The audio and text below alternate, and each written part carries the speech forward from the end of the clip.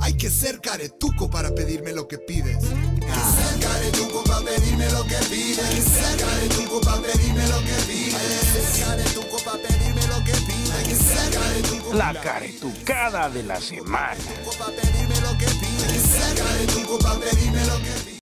Senador advierte de graves consecuencias a democracia en Ecuador.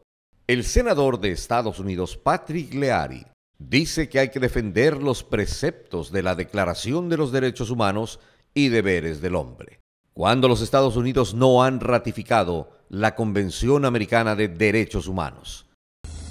¡Qué caretuco!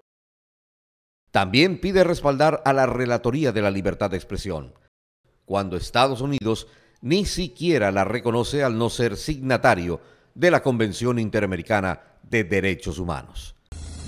¡Qué caretuco!